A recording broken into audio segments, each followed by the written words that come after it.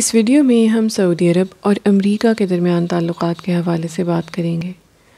गुज्त एक माह के दौरान सऊदी अरब और अमेरिका के दरमियान फासले बढ़ रहे हैं, जबकि दूसरी जानब जंग में आमने सामने रूस और यूक्रेन की हुकूमतों ने मुख्तलिफ़ मौक़े पर सऊदी अरब का शुक्रिया अदा किया है।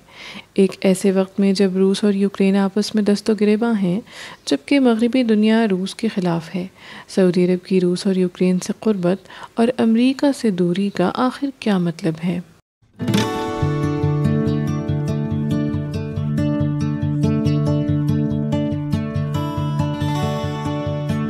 अमेरिका के सदर जो बाइडन ने तीन माह कबल जुलाई में सऊदी अरब का दौरा किया था और इस दौरे का बुनियादी मकसद सऊदी अरब को तेल की पैदावार बढ़ाने पर आमादा करना था।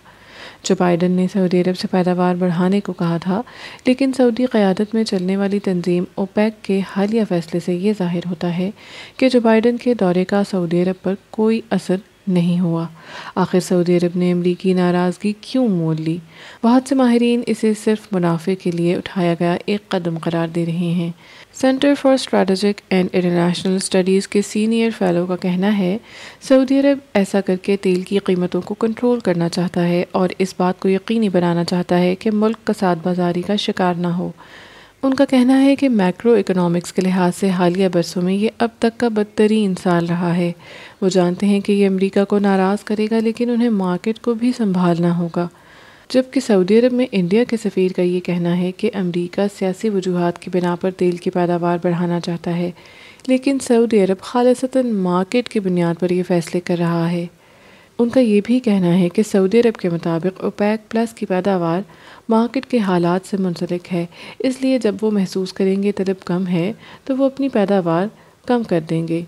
वो नहीं चाहते कि पैदावार ज़्यादा हो और इसकी वजह से कीमतों में कमी वाक़ हो। सऊदी अरब और ओपेक प्लस ममालिक ने पेशीन गोई की है कि आलमी मीशत कसाद बाजारी या स्लम की तरफ़ बढ़ रही है और तेल की तलब कम हो सकती है। अमेरिका पैदावार में इजाफा जारी रखना चाहता है। इससे कीमतें कम हो जाएँगी। अमेरिका में नवंबर में वस्त मुद्दती इंतबात होने वाले हैं। सदर जो बाइडन का ख्याल है कि अगर कीमतें बढ़ी तो इंतबात में उनके लिए मुश्किल हो सकती है। और इसका बरह रास्त असर अमरीका के तेल के ज़ख़ायर पर भी पड़ सकता है।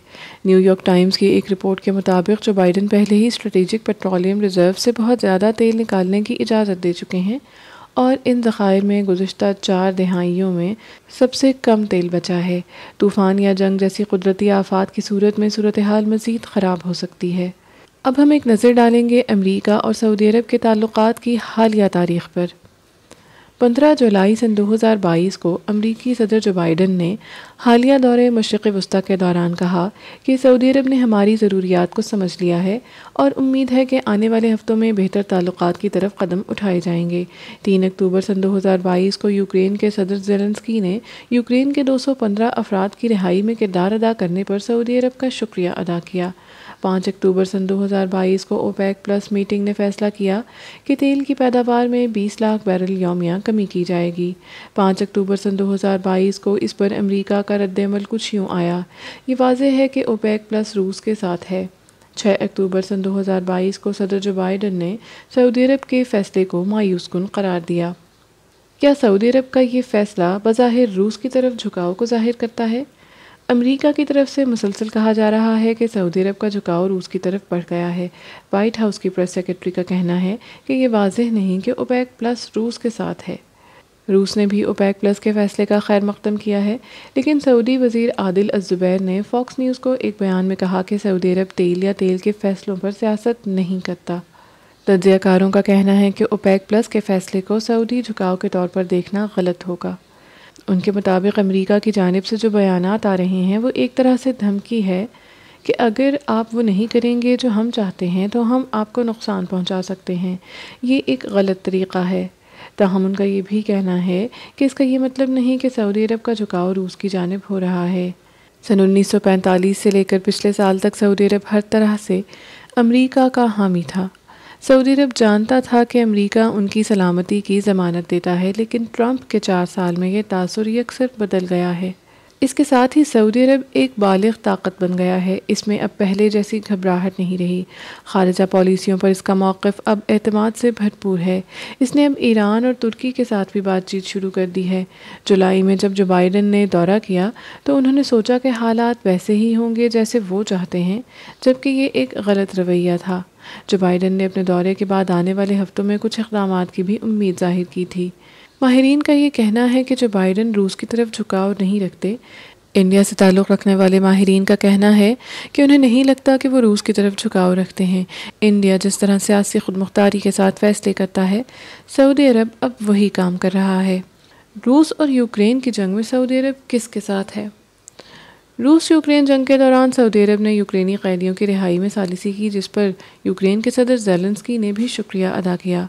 भारतीय माहरीन के मुताबिक इससे ये ज़ाहिर होता है कि सऊदी अरब इस जंग में किसी के साथ नहीं है। उनका कहना है कि सऊदी अरब जंग में किसी का साथ देने के लिए कुछ नहीं करेगा, इसलिए न वो किसी की हिमायत कर रहा है और ना ही किसी की मुखालफत कर रहा है। कैदियों की रिहाई जैसी सूरत हाल में वो सालिसी का किरदार ज़रूर अदा करेगा। उनके ख्याल में सऊदी अरब के फ़ैसले उसकी माली ताकत की अलामत हैं। अब अमरीका क्या कर सकता है? सियासी माहरीन का कहना है कि जो बाइडन और सऊदी वली अहद शहज़ादा मोहम्मद बिन सलमान के दरमियान ताल्लुक़ ख़राब हैं। इसके अलावा वाइट हाउस ने ईरान के साथ जौहरी माहदे के लिए दोबारा कोशिशें शुरू कर दी हैं। अमरीका के पास अब पैदावार बढ़ाने के सिवा कोई चारा नहीं रहा। वॉल स्ट्रीट जर्नल की एक रिपोर्ट में ये कहा गया है कि अमेरिका तेल की कमी को पूरा करने के लिए वेनेजुएला से पाबंदियाँ भी उठा सकता है, लेकिन अमरीकी हुकूमत ने इस बारे में कुछ नहीं कहा। वेनेजुएला 90 की दिहाई में तेल पैदा करने वाला बड़ा मुल्क था। लेकिन इसके बाद सरमाकारी की कमी, बदनवानी और बद इंतज़ामी की वजह से इसे काफ़ी नुकसान पहुँचा। ट्रंप इंतज़ामिया की तरफ़ से लगाई गई पाबंदियों ने भी सूरत हाल को मज़ीद ख़राब कर दिया। ताहम जब तक वेनेजुएला असलाही इकदाम नहीं करता, अमरीकी पाबंदियों की पॉलिसी में कोई तब्दीली बज़ाहिर आना नामुमकिन नज़र आता है।